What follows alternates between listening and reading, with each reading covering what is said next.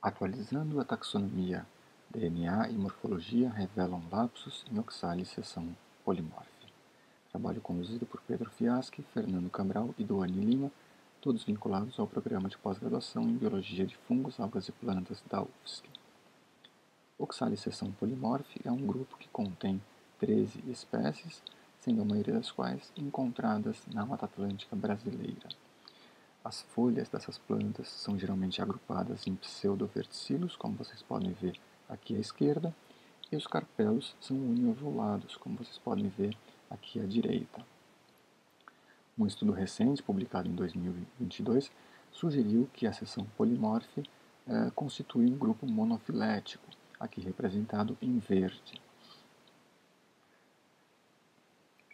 Falando de uma espécie importante desse grupo, uh, a gente precisa voltar na expedição que Spix e Márcios conduziram ao Brasil entre 1817 e 1820.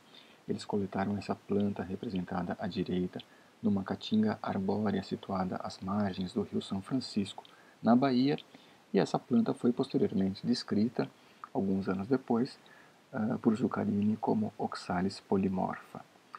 Uh, esse autor sugeriu o reconhecimento de cinco variedades uh, sob Oxalis polymorpha, que estão representadas aqui à esquerda, e posteriormente, mais de 170 anos depois, Alicia Urteg, que revisou uh, mais recentemente esse grupo, percebeu que algumas dessas variedades propostas por Zuccarini na verdade encaixam melhor em outras espécies da seção, como Oxalis neovide e Oxalis rombiovata e manteve duas dessas variedades em Oxalis polimorfa.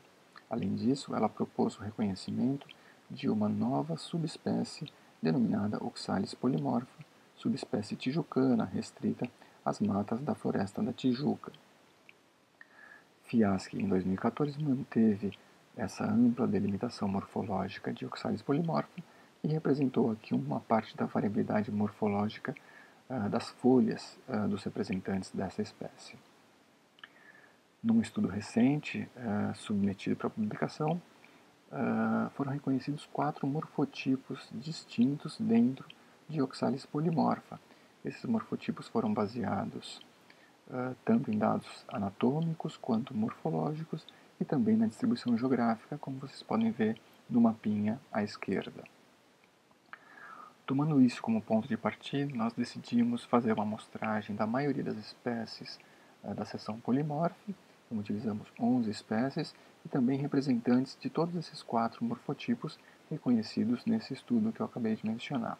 Fizemos sequenciamento de três marcadores mole moleculares de 31 terminais, sendo 21 deles da seção polimorfe, e conduzimos análises filogenéticas de máxima verossimilhança análises nos revelaram como resultados preliminares é que, inicialmente, Oxalis, a seção polimorfe, não é realmente uma seção monofilética. Embora muitos dos representantes da seção estejam agrupados sob a, a Oxalis seção polimorfe, a gente percebe que alguns terminais estão mais proximamente relacionados a representantes das seções Psoraleoide, Holophilum e Tamnoxis, tornando essa seção, como atualmente reconhecida, um grupo polifilético. Além disso, amostras atualmente reconhecidas como Oxalis polimorfa, elas aparecem em pelo menos cinco lugares diferentes dessa filogenia, representados por esses números aqui mostrados. Quando a gente observa a morfologia desses diferentes morfotipos, a gente percebe que dois deles à esquerda possuem flores brancas e três deles flores amarelas. Além disso, uma série de outras características, tanto da morfologia dos frutos, como a distribuição das folhas ao longo do caule e a posição das inflorescências, sugerem que a gente esteja falando não de uma espécie amplamente polimórfica, mas pelo menos cinco espécies distintas que podem ser reconhecidas.